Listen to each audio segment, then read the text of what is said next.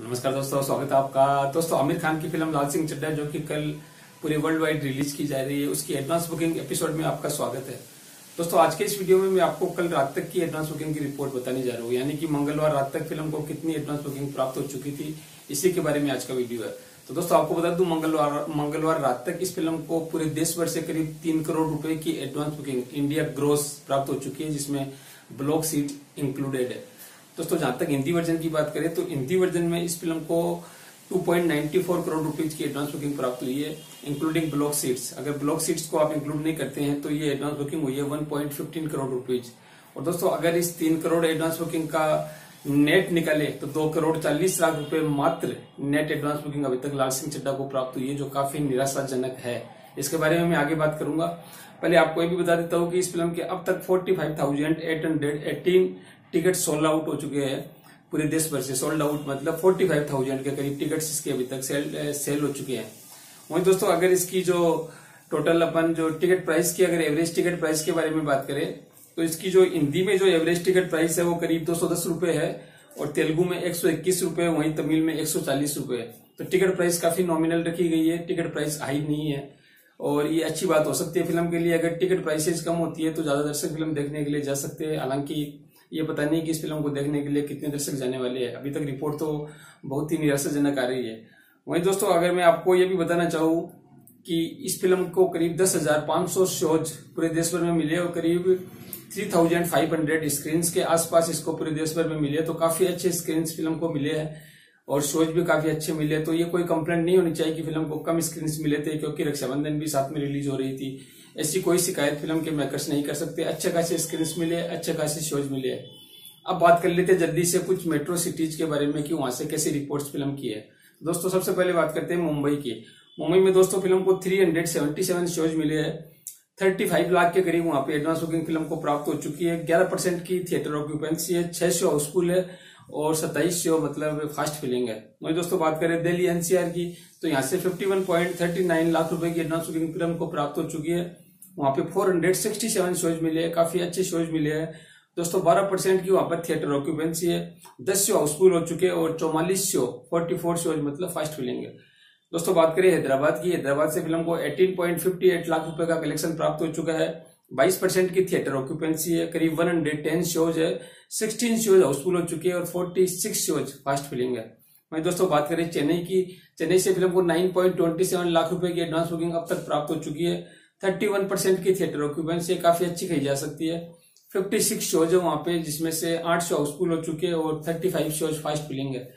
तो दोस्तों, लाल सिंह चड्डा की अगर वैसे बात की जाए कुल मिलाकर तो क्या आप उम्मीद करते हैं कि आमिर खान जैसे सुपरस्टार की फ़िल्म जो कि चार वर्ष के बाद में आ रही है और इतनी बड़ी हाइप के साथ, इतनी बड़ी क्रेज के साथ फ़िल्म को मास्टरपीस बताया जा रहा है, जिन्होंने भी रिव्यू दिए अब तक आमिर खान ने कई जगह फ़िल्म की स्क्रीनिंग की है तो कई जगह से रिव्यूज़ आए तो सभी ने मतलब फ़िल्म को मास्टरपीस बताया एक्सीलेंट बताया फाइव स्टार रेटिंग दे रहे हैं। तो अगर फ़िल्म इतनी अच्छी है तो फिर फ़िल्म की जो एडवांस बुकिंग है, वो देखने में क्यों नहीं आ रही है?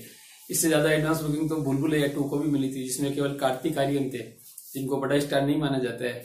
तो दोस्तों, ऐसी क्या बात है कि तीन करोड़ रुपए की एडवांस बुकिंग अभी तक फ़िल्म को मिली वो भी India gross gross advance booking कभी नहीं देखी जाती है। नेट एडवांस बुकिंग होती है। उसी का कलेक्शन आता है। नेट एडवांस बुकिंग मात्र 2.40 करोड़ रुपीज़ की हुई है। तो बहुत ही निराशाजनक है कि आमिर खान का स्टार्टअप खत्म हो चुका है। या बॉयकॉट लाल सिंह चड्डा जो चलाया जा रहा है, उसका ही असर है। कई लोगों ने इस अभियान को मतलब हँसी में उड़ा दिया था कि अरे, कुछ नहीं होता बॉयकॉट बॉलीवुड क्या होता है बॉयकॉट क्या बॉयकॉट बॉलीवुड है? क्या बॉयकॉट लाल सिंह चड्डा है? कुछ नहीं होता, ऐसे सोशल मीडिया पे चलाते रहते अभियान और बाद में कुछ नहीं होता है। लेकिन लेकिन अब साफ़ साफ़ नज़र आ रहा है कि अभियान कितना स्ट्रांग है। ये केवल सोशल मीडिया पर नहीं चलाया जा रहा है। ये रियलिटी ग्राउंड पर देखा जा रहा है। लोगों को आमिर खान की फ़िल्म से बहुत ज़्यादा चिड़ है। आमिर खान ने जो अपने पिछले वक्तव्य दिए विशेषकर देश के खिलाफ तथा हिंदू संस्कृति के जिस तरह से फ़िल्म पीके में अपमान किया गया था, जिस बारे में, जिस तरह से उन्होंने भगवान शिवलिंग के बारे में जो मतलब बयान दिया था, ऐसी कई बातें जिस प्रकार से उन्होंने तुर्की की फ़र्स्ट लेडी से मुलाकात की थी तो दोस्तों, ऐसी कई मतलब बातें जो लोग अपने दिल से निकाल नहीं पा रहे अभी तक भी। ये हकीकत है। ये मैं इसलिए नहीं कह रहा हूँ कि मतलब कि मुझे फ़िल्म से एलर्जी है या मुझे आमिर खान से एलर्जी है। मैं इसलिए कह रहा हूँ कि इस अभियान का असर देखा जा रहा है, ज़बरदस्त तरीके से देखा जा रहा है। वरना आमिर खान जैसे सुपरस्टार की चार वर्ष के बाद में जब वो फ़िल्मों में वापिस आ रहे हैं तो दोस्तों, केवल दो करोड़ चालीस लाख रुपए की नेट एडवांस बुकिंग प्राप्त होगी। सोचा सोचा भी नहीं जा सकता इसके बारे में मतलब इसके बारे में सोचा भी नहीं जा सकता। और जिस प्रकार से बॉलीवुड की एक के बाद में एक फ़िल्म धराशाई हो रही है, अभी तक केवल दो फ़िल्में बॉक्स ऑफ़िस पर हिट हुई है द कश्मीर फाइल्स जिसको तो मैं बॉलीवुड की फ़िल्म मानता ही नहीं। उसमें कोई बॉलीवुड का स्थापित कलाकार नहीं था, नहीं कोई बॉलीवुड के कोई स्थापित डायरेक्टर थे उसमें। वो फ़िल्म ऑल टाइम ब्लॉकबस्टर साबित हुई थी। इसके अलावा भूल भुलैया टू और उसमें हीरो थे कार्तिक आर्यन, जो कि आउटसाइडर माने जाते हैं बॉलीवुड से आउटसाइडर दोस्तों, ये मात्र दो फ़िल्में बॉलीवुड की इस साल है।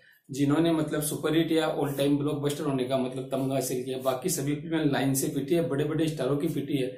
और मुझे लग रहा है एडवांस बुकिंग देख के लग रहा है कि अब आमिर खान का नंबर है। दोस्तों, अभी ये मेरी आशंका है, हो सकता है मेरी आशंका गलत सिद्ध हो जाए।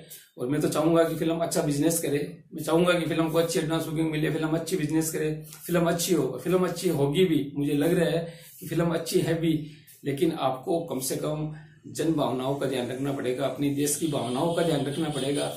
तभी आप एक सफल स्टार बन सकते हैं। अगर आपको भारत में रहने से डर लगता है, ऐसे बयान आप दोगे तो फिर दोस्तों उसकी प्रतिक्रिया देखने को आपको मिल सकती है, ज़रूर मिल सकती है। और दोस्तों, अब इस एडवांस बुकिंग के आधार पर मैं ये कह सकता हूँ कि ये फ़िल्म ज़्यादा से ज़्यादा, क्योंकि मैं ये सोचता हूँ कि जैसे तीन करोड़ की ग्रोस एडवांस बुकिंग आई, आज ज़्यादा से ज़्यादा दो करोड़ रुपए की एडवांस बुकिंग ये फ़िल्म और प्राप्त कर सकती है। तो करीब पाँच करोड़ रुपए की एडवांस बुकिंग इस फ़िल्म को टोटल मिलती है। तो इसका जो फ़र्स्ट डे का जो ओपनिंग डे का कलेक्शन है, वो करीब बारह से चौदह करोड़ रुपए तक का अपने पहले दिन रह सकता है। हालाँकि मैं पूरा प्रिडिक्शन अभी नहीं बता रहा हूँ आपको। अभी जो मेरा नेक्स्ट वीडियो आएगा, जिसमें मैं लाल सिंह चड्डा और रक्षाबंधन दोनों की कंपेयर करूँगा तो उस समय मैं आपको और ज़्यादा क्लियरली बता पाऊँगा, क्योंकि शाम तक और ज़्यादा स्थिति स्पष्ट हो जाएगी कि कितना कलेक्शन फ़िल्म अपने पहले दिन कर सकती है। तो दोस्तों, आज के लिए इतना ही। आप अपनी राय ज़रूर कमेंट बॉक्स में व्यक्त कीजिएगा और चैनल को सब्सक्राइब नहीं किया है तो ज़रूर कर लीजिएगा। धन्यवाद टेक केयर